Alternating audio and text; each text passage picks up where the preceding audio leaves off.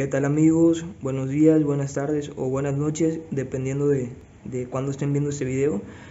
El día de hoy les vengo a mostrar este, cómo tengo equipado mi terrario, el terrario de mi serpiente falsa coral.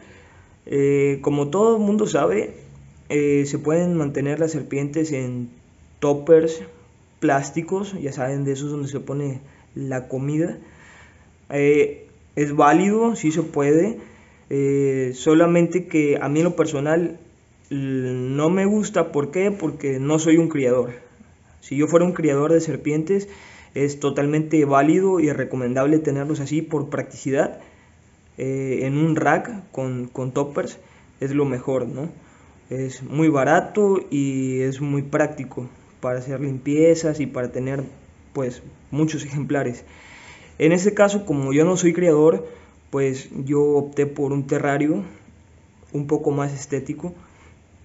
Este, y el cual pues, lo tienen aquí en cámara. Es un terrario que no recuerdo las medidas, no lo hice yo, lo mandé a hacer. Este, no recuerdo exactamente las medidas, pero me parece que es de 60 centímetros de largo por 40 de ancho y 40 de alto. Me parece, no, no recuerdo. Eh, el terrario tiene, en la, en la parte frontal tiene vidrio y en la parte superior tiene malla para que haya ventilación. El terrario cuenta con estos seguros, son unos seguros muy prácticos, muy buenos. Este, este son unos seguros eh, sumamente pues confiables ya que cuentan con este resorte para que su cierre sea a presión. Eh, ocupé dos, nada más para estar un poco más seguros, ya que como todo mundo sabe, las serpientes son escapistas profesionales. Entonces, este, no hay que escatimar en, en seguridad. ¿sí? Bien, eh, mi terrario cuenta con un escondite, termómetro, higrómetro y bebedero. ¿Sí? Cuenta también con de sustrato tiene pitmos con un poco de hojarasca y de iluminación tiene una barra una barra led sencilla. Eh, recuerden que recuerden que las serpientes no, no necesitan VB VA simplemente es para que para que sea un poco más estético y se tenga buena iluminación. Bien.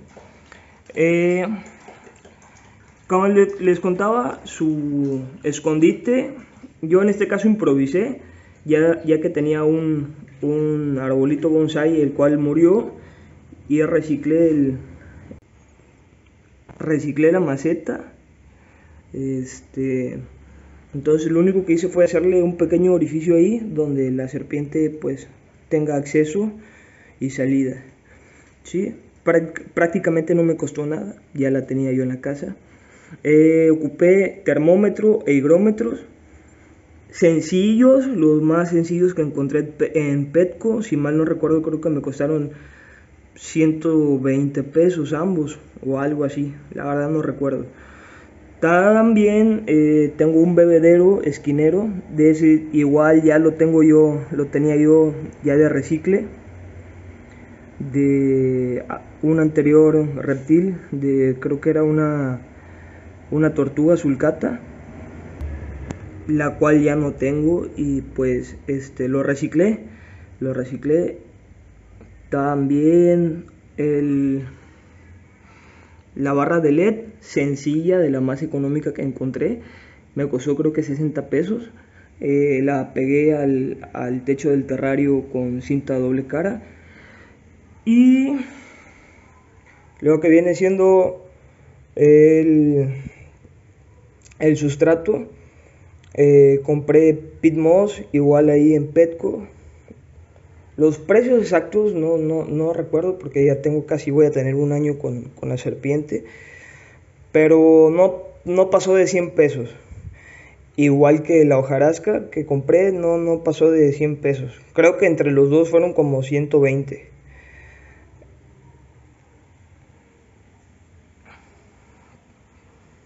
Como pueden ver es un, un espacio bastante bastante bueno para la para la serpiente que en unos momentos más les voy a mostrar. Bueno vamos a ver le voy a mostrar a, a mi serpiente a ver si está aquí. La verdad es que ahorita en Veracruz hace muchísimo calor entonces generalmente no se encuentra en el escondite sino se encuentra en el bebedero pero cuando recién adquirí, no manchen, estaba bien pequeña, bien pequeñita. Medía alrededor de unos 20 centímetros, creo, y ahorita ya está más o menos en el doble, unos 40 centímetros. Entonces, para calcular, fueron, pongamos 500 pesos del terrario, más 150 de los del termómetro higrómetro serían 650 más unos 150 pesos más de pitmos y hojarascas serían 800 pesos. 800 pesos más 60 pesos del, del, de la tira LED serían 860 pesos fue lo que yo me gasté en el terrario. Recuerden que ya tenía tanto la maceta como el bebedero. Este pues sacando cuentas 800 pesos en un terrario no está mal. También hay que tener en cuenta que ya será el tamaño el terrario definitivo de mi serpiente así que pues no sé para mí está bien Igual compañeros, nos vamos a tomar la tarea de, buscar en la página oficial de Petco el precio de cada uno de los accesorios que ocupamos para que tengan ahora sí que el, el presupuesto exacto de lo que yo me gasté en ese terrario este, y no, no andar teniendo especulaciones. Aquí en, la descripción del video voy a dejar link de cada uno de los, de los accesorios que ocupamos. Cualquier duda o comentario que tengan, déjenme ahí en la caja de los comentarios.